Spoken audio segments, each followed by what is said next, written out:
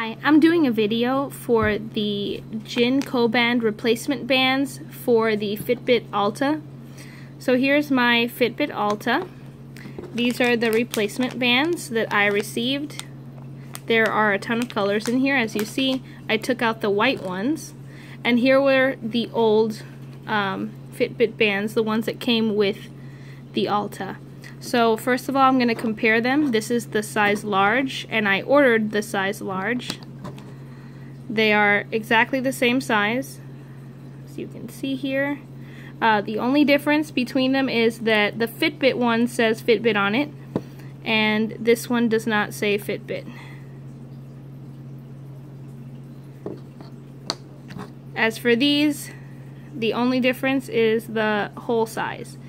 So on the original one, the holes are bigger. And on this one, the holes are a little smaller. So now I'll put it on. Um, I don't know which side is which, so I'm just going to assume it goes here. There's a little clip at the bottom, just like the original ones. Fits right in, locks immediately,